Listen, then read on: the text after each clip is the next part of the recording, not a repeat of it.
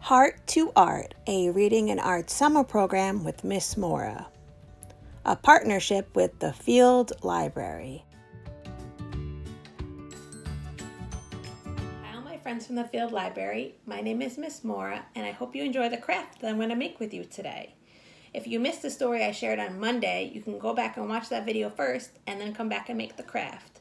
Before you use any materials, make sure that you ask an adult if it's okay. And hopefully you have somebody that can help you out if you need any help. Okay, I hope you guys have fun and enjoy. Thanks. On Monday, we read A Sick Day for Amos McGee, written by Philip C. Stead, illustrated by Erin E. Stead.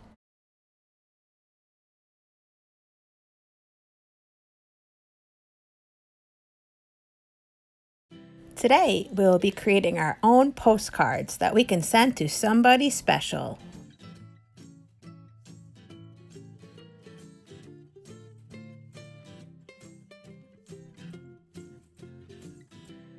These are some of the supplies you will need to create your postcard.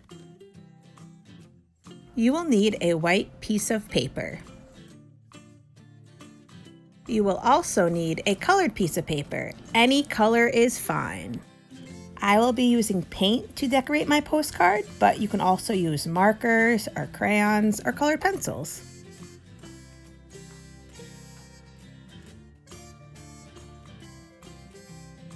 You will need a pair of scissors. Make sure you ask an adult before you use scissors. You will need a marker and a pencil.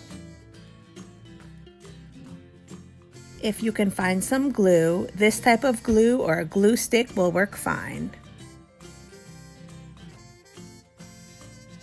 You will need something to make straight lines. You could use a ruler or a book.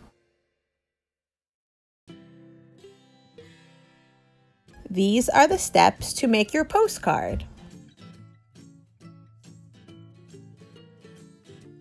First, you will decorate your piece of white paper. You can decorate it with paint or crayons or markers, and you can make any design that you want. If you want to make one postcard, you can just color half the piece of paper. And then if you want to make two postcards, you can color the full piece of paper and then we'll be cutting it in half.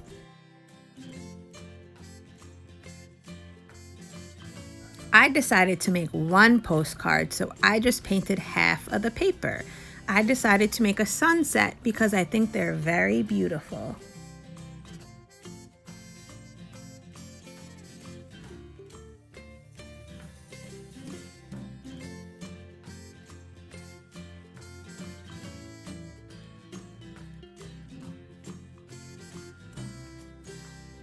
So now that we have that painted, I'm going to use this book to trace it on top of this because this is the size that I want to make my postcard. So I'm going to trace it around with either a pencil or a marker or whatever you want to use. Now that I traced the rectangle shape, I'm going to cut it out.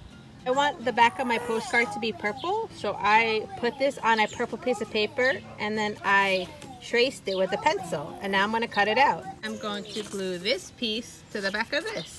We have the front of the postcard and we have the back of the postcard. I glued the purple piece of paper on the back of the painting. The last thing we need to do for our postcard is make some lines. So down about the middle of the paper, we're going to make one line down the middle because on this side it's going to be your message and on this side is going to be the person's address. Well, it's their name, their address, and then this is where you have to put a stamp if you're going to put it in the mail. So you could use a ruler to trace these lines, but I personally just use this book. The same book we used to make the postcard shape is what I use to make the line. So I just put it down and traced it. And then do the same for these lines. And for the square, I kind of just freehanded it, but it doesn't really matter because the stamp is going to go on top of it anyways. Now you can write your message in the space on the left and the name and address on the lines to the right. And don't forget, if you're going to send it in the mail, make sure that you get a stamp. I sent my postcard to my mom, and she has it on her fridge. It's so important to let people know that we care about them and we're thinking of them. When the person gets your postcard in the mail, they will be so happy and they will feel so special that you created this for them.